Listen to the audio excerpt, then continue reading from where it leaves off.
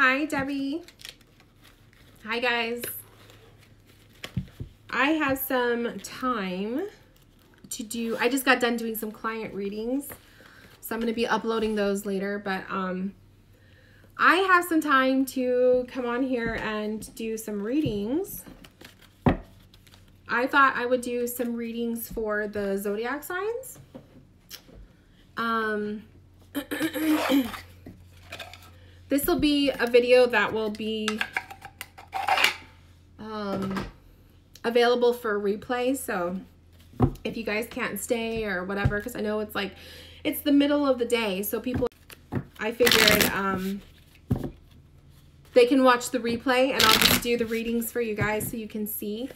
Um, but I wanted to, I want to read on the signs because we're actually coming into the month of April. And since we're almost there, why don't we do some insights? So let's do some readings for that. So let's start with um, earth energies, which are earthies are what my Taurus, my Capricorns, and what is the other earth sign? I just had my book out. I'm still learning my astrology. Let's see. okay, so my earthies are Taurus, Virgo. Taurus, Virgo, and Capricorn. So let's read Taurus, Virgo, Capricorn first. Um, and this is looking at the month of um, April. So I'm going to be reading with my Rider Waite deck and the Psychic Tarot. So for my earth energies, we have the Eight of Pentacles, the Knight of Swords, and the High Priestess. So this combo um, is definitely showing working towards, so some of you, working towards your spiritual goals, connecting with spirit, working with your spiritual journey. Some of you are going through awakenings, your intuition, working. So I'm seeing High Priestess energy here. We have the Intuition card. High with the Intuition. It keeps reconnecting. I hope you guys are able to see. I'm like connected to Wi-Fi. I don't know why it's like not working. so for those of you who are earth energy, your intuition is going to be on point for the month of April. And it's actually asking, the tarot saying with the eight of pentacles is actually guiding you to keep building towards that. So those of you guys who are going through some spiritual awakenings, you want to connect with spirit, you want to connect with, you know, your guides or your angels or your past loved ones or whatever. Um, the month of April for you guys is going to be powerful. The waiting game though. So the waiting game can also reveal um, some things, some expectations you may have for the month of April. Some of that stuff might take some time. Don't be impulsive also is the other thing I'm seeing. So we're talking about earth energies right now. So if you are a Capricorn, a Virgo, or a Taurus. Don't be impulsive for the month of April. Be very mindful of actions. Be very mindful of what you say. A Knight of Swords can sometimes spout off. they may bite their tongue. They may say more than they're supposed to. So be very careful with what you say to people. Um, working hard, a lot of you guys are going to be working hard towards a goal, okay? So April is the month for you to really get moving with projects, for you to rebuild, studying perhaps, or this is a month for um, maybe if you're like me, we're starting, I'm starting a new job in April.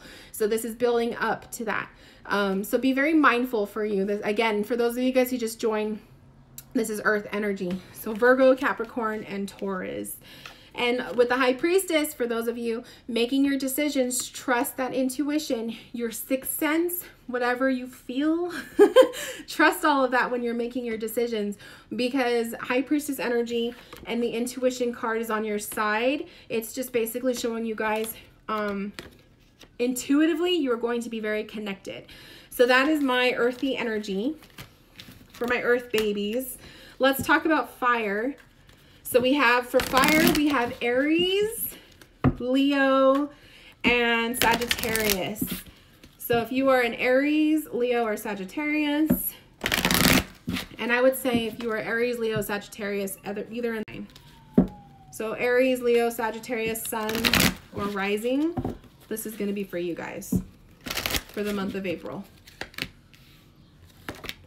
Recognition and reward, truth, and stand your ground. There might be some uh, some drama coming up for you guys. Let's see. So fire signs for April. Page of Wands. Fool and Magician. Wow.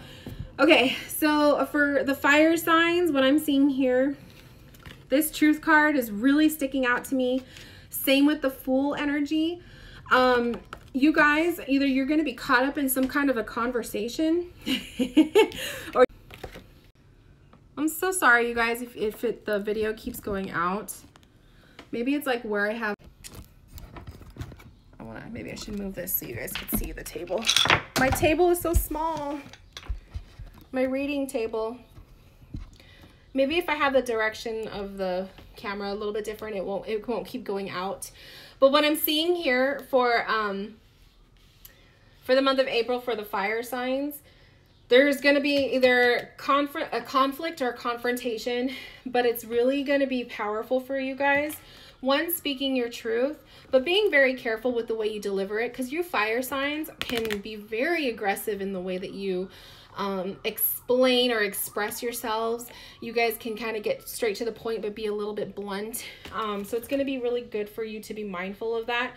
Um, the magician energy, you have a lot of um, ability to manifest this month for you guys. This is a powerful time for you. Standing your ground though. I love it. I feel like the the stance in these two cards is very similar. Um, standing your ground, you know, staying within your inner power, believing in yourselves, um, and don't veer off the path just because someone is giving you trouble. Because I do feel like a lot of you guys for April, you guys, the fire signs, are going to be um, falling into some people just trying to trying to take the limelight, trying to push you off the path, really getting on your nerves. I feel like a lot of you guys, your attention span is going to be just in a conflict with some people. That's the vibe that I'm feeling. The Page of Wands, new ideas coming into play. So April, you might be um, really inspired with something new coming up into the mix. A good time for new projects or plans um, getting ready. Perhaps you're preparing for the summer. There's a lot of a lot of good things happening for you guys with the Aries, um, Aries, Leo, Sagittarius. But don't be the fool. I feel like the full energy is obviously he's starting the journey and he's you know taking his risks and whatnot. But I also feel like don't be the fool in the way that you communicate with people. Don't spout off. Don't say things that you really don't mean. Be very mindful of how you talk to people because like I said, you guys can be very blunt and straightforward and some people don't like that. Um, some people are a little bit more sensitive, especially if you're talking to a fishy like me, a Pisces. Um, you know, just be a little mindful. I do get the energy that Aries, um, Aries, Leo, Sagittarius, some of you guys might be a little bit more, um, your, your patience is going to be running thin with some people in your life the month of April and just some people are going to get on your nerves. So that's another, like, intuitively, that's what I'm feeling. Um, but it basically, the whole thing, the whole theme for the month for you guys is just um, standing your ground. Don't let people get to you to the point where, you know, you don't focus or you can't stay on top of your projects. Like, people are to piss you off, but... Um, don't let them completely push you off your game. You have goals to, to do, you have ideas and plans and blah, blah, blah. People will just be how they are. So that's for the fire sign. And again, you guys, those of you guys who just jumped in, I'm doing readings for the month of April for the signs and the elements. Um, so if you didn't catch yours right now, I will have it on the replay for you. That's your mom's sign. we'll see how your mom is this this for the month of April. She might be a little bit um maybe a little frustrated. Okay, so now let's talk about woo, let's talk about air. That card wants to come out, so we'll leave that. Let's talk about the air signs. So what are my air signs? There's and bear with me because I'm still learning my astrology, but my air signs are um, Gemini, Gemini, Libra, and Aquarius. Did I get that right? I know Aquarius is an air sign, and Gemini.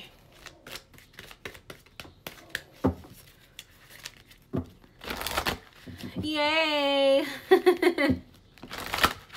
okay, let's do air. So if you have an air sun sign or an air rising sign, this is the one you want to pay attention to. Whoop, there we go. We got cards that want to come out. So air signs, which is Gemini. Let me check my my little book here. Yeah, Gemini, Libra, and um, Aquarius. Ooh, Triumph, Hope, Firm Foundation. This is a powerful month for you guys too. Star, Queen of Wands, Three of Cups. Oh yeah, there is a lot of stuff going on for you guys. So what I'm seeing here is major energy boosts for air signs for the month of April. Major energy boosts, major um, having lots of um, lots of confidence, the confidence boost here. Um, finding the words to step up to people to be able to say the things that you need to say. Queen of Wands, this is like just feeling on fire. You feel like your purpose, you're, you're really tracking into your purpose. You are really doing the things that you want to do. You're saying what you want to say. You're inspired. You feel like you want to create. Um, also kick-ass wardrobes. So maybe some of you guys are going to be adding to your spring summery wardrobes shopping. I don't know. I always throw that in there because i always see queen of wands as a fashionista. Um celebrations there's going to be a lot of things to celebrate or a lot of new um, vacations being made. Or perhaps um, lots of vacations or a, a sick day take a sick day go out and enjoy celebrate do something for the month of april. So this is um, air signs Three of Cups could also be um, a reunion of some sort. So maybe some of you will be getting together with some friends, um, long lost friends, reconnecting with coworkers, making new friends. Those of us who are starting new jobs, perhaps we will be making new friends. Um, the star card is revealing a lot of having hope, which I love because we have hope here. So a lot of that double hope is invested either in other people Maybe you are making amends with a long lost friend. Maybe you are, you know, forgiving someone for something. Maybe you are actually having a meeting. You're going to make plans to get together to sit with that person that you know you had a disconnect with and now you are able to be reconnected. I'm actually going to be doing this if the plans fall through.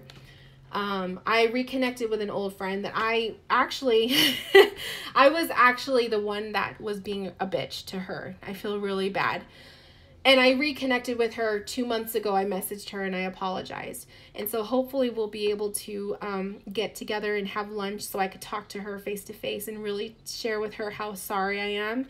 Um, so this is big for me. Um, even though I'm not, um, oh, well, I have a Gemini rising, so I guess that would be it, having those conversations.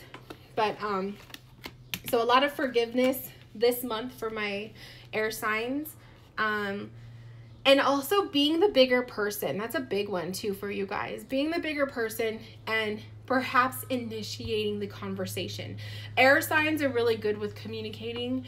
You're really good with um you know starting the conversation breaking the ice that kind of thing. The foundation card came up also. So perhaps that's what you need to do um, to break the ice. Reset those boundaries or remove the boundaries that you have with people or certain topics or subjects in your life.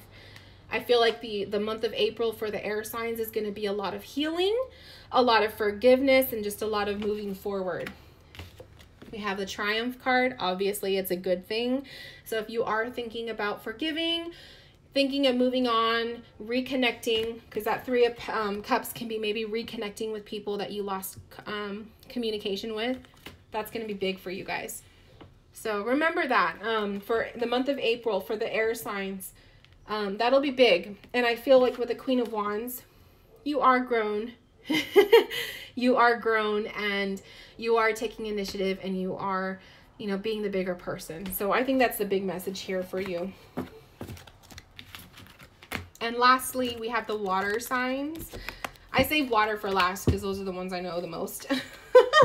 and um, so water signs, we have Pisces, Scorpio, and Cancer. So if you have a sun in Pisces, Scorpio, Cancer, or a rising, this is for you guys for the month of April.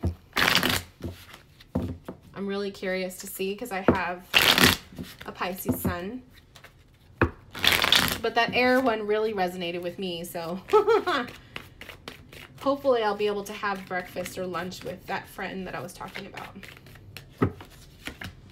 Ooh, Nine of Swords, Page of Pentacles, the Magician.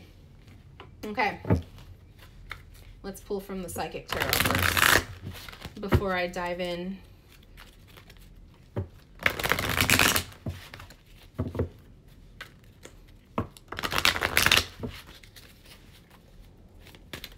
Okay, Spirit is telling me that for some of us water signs, um, we're going to have a rocky start. We're either going to be um, self-conscious in a situation or we're going to feel very doubtful.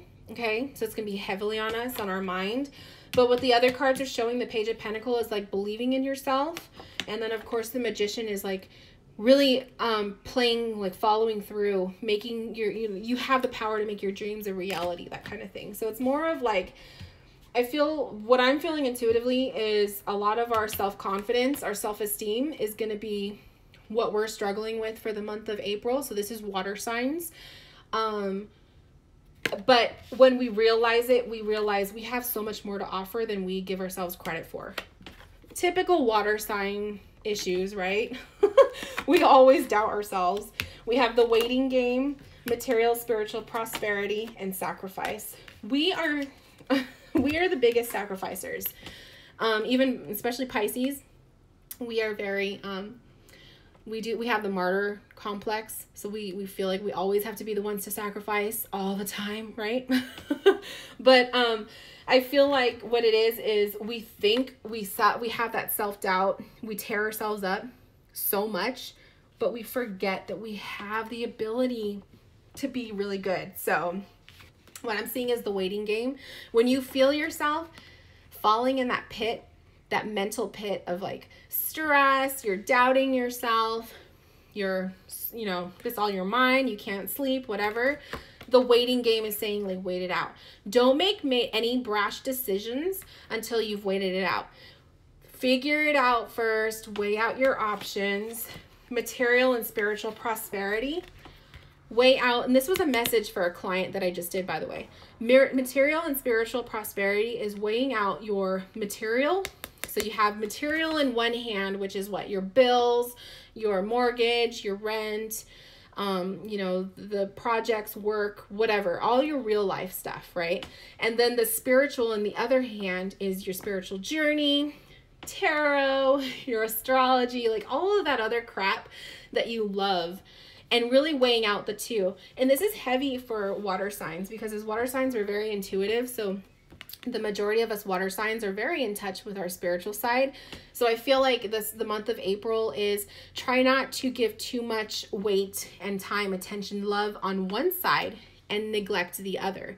So make sure you guys are balancing out both your spiritual life and your real life. So that's a big message. and sacrifice. Sometimes water signs, we have to sacrifice things to gain others. So sacrificing your comfort, sacrificing um, plans. Maybe you have to, you know, um, cancel on plans for the benefit of something else. Whatever the case may be, sacrifice could be a lesson for the month of April for us. Um, but I do feel like it's balancing having an even balance of our spirituality stuff, like the things we love, and then also our reality so that we're not putting too much um, too much energy and time on one and then neglecting the other. So that's for the water sign. That's a powerful message, I feel. Because I think a lot of times when we're stressing, when this shit happens, we tend to put so much focus on one area in our life, we forget the other. It's almost like I know a lot of water signs like they forget, oh my gosh, I didn't eat today, or oh my gosh, I didn't call back so and so, or I didn't pay the bill, or whatever. You know, we get so caught up in it. And I know a lot of you guys, those of you guys who are water signs, can relate. Um, so don't let your stresses consume you and make sure you put an even balance in the two reality versus spirituality. Okay?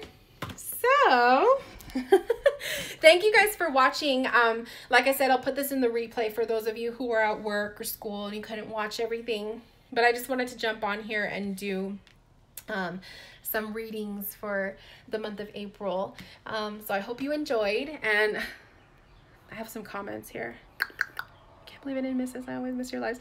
No, Jana. I know some people always miss the lives because either um, I really honestly let me fix this. Honestly, I jump on live when I get a chance to. It is very rare. I live at home with my parents, me and my husband, and they're very like, there's no privacy in this house. So when they leave, I have time to jump on. And they left this afternoon. So um, I have a headache. Like I have like a, one of those I don't even know what kind of headache it is. It's like right above my eye. Um, but I wanted to jump on anyway because I just finished readings and I was like, you know what? I'm going to take advantage of this. So I'm going to pop this on YouTube and, and all of that. But um, I just wanted you guys to just, you know, see me and say hello and put my face on here. and um, I don't know. I never get to do this as much I'm reading the comments. I don't get to do this as much as I want to, so it's nice when I get to. Miss Jackie says, Rose, I swear your readings always resonate with me. I'm glad. I am so glad. It makes me happy to hear that they resonate. My husband is a cancer and we just talked about everything you discussed. Yay! Yeah. Um, if sometimes you guys those of you guys who like to watch my readings if and it's another disclosure i want to put if my readings don't resonate with you there will always be another reader whose readings will resonate with you um, which is why it's important to follow other readers too you will always have your favorites like i have my favorites but sometimes my favorites will post a reading and I'm like, uh, that doesn't really fit with me. But then another one that I will watch will resonate so so much more. So um, you know, just you can have multiple readers that you go to for your insights. but anyways, I'm going to hop off here and I will talk to you guys later and start uploading. I got to upload my client video reading. So have a beautiful day, guys, and I will see you later. Bye.